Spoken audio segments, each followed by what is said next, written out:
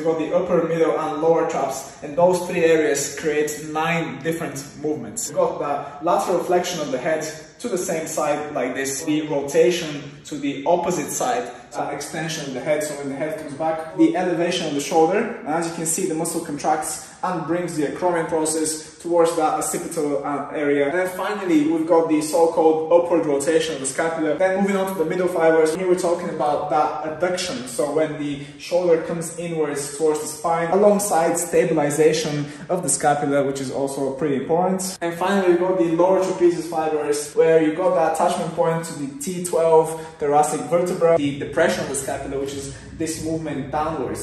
And as you can see, when the lower trapezius are working, the scapula is moving downward towards that T12 uh, attachment there. Again, the lower trapezius are creating the same movement as the upper trapezius, and that is the upward rotation of the scapula.